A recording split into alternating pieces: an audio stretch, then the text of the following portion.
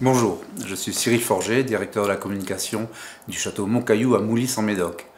Ce château, propriété de la famille Dourte, est situé sur la rive gauche de la Garonne, en plein milieu du Médoc, entre Margaux et Saint-Julien. Moulis en Médoc est l'appellation communale la plus petite du Médoc et Château Montcaillou, par contre, est une des propriétés les plus importantes. 80 hectares répartis sur des terroirs de graves profondes ainsi que d'argilo-calcaire avec 52% de Cabernet Sauvignon, 41% de Merlot et 7% de petits verres d'eau. Après un printemps pluvieux et un été caniculaire, les orages du mois de septembre ont permis de ramasser les raisins plus précocement. Les vins obtenus sont assez tanniques, équilibrés et présentent une certaine fraîcheur et un alcool modéré. Les merlots ont très bien profité de ces conditions climatiques en donnant beaucoup de fruité, de croquants et de netteté aromatique.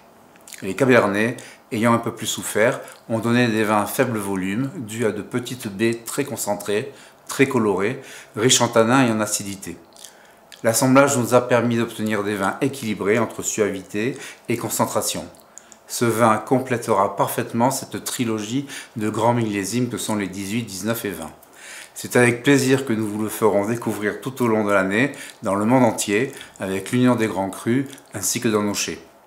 Au revoir.